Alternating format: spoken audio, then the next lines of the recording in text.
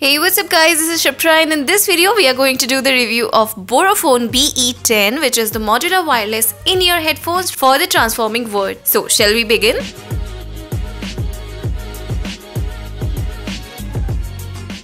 So Borofone BE10 is one innovative in-ear headphone with a little modular touch to it. So these in-ear headphones fill that tiny gap between the mono Bluetooth headsets for calling and wireless headphones for music. So it transforms into a Bluetooth headset or in-ear headphones in just a snap. It started as a project on Kickstarters and then became an actual product and now we have these headphones here for testing. So let's see how these headphones stand out among thousands of other wireless in-ear headphones already in the market. But before we move further, let's check out the box contents first. So here you get the box and everything inside the box is well placed on a plastic tray. You'll get in-ear headphone, the modular earpiece, hard carry case, ear hook for the Bluetooth headset module, set of three sized ear tips, micro USB cable for charging and the documents. So these in-ear wireless headphones have a unique design which I haven't seen before on any pair of earphones before. The earbuds are made out of plastic and the ear tips are angled for better fit. The wire is transparent, thin and very lightweight probably to reduce the overall weight of the headphones. And this wire needs to be adjusted so it will become wearable like a necklace around the neck. It can also be used other way around but the necklace trick is very comfortable and keep the buds in place. Now if you look at the main module, it has the volume controls, the power button and the micro USB port for charging. And now if I talk about the performance, they give you crisp and clear sound but with the low volume. The low and mids from the earphone are crystal clear but the highs are affected because of low output from the drivers. So in the layman's language, listening to metal, blues and pop are tremendous, but hip hop or electronic music starts to fade out. Now if I talk about the comfort, they are very comfortable in ears, it never hurts the ear even after prolonged usage. Yes, they never did. Connectivity is not a problem to be honest and this is the best Bluetooth connectivity I have ever experienced on any pair of headphones. The range is excellent with the least stutter if the headphones are going out for range. The battery backup of these headphones is really amazing. It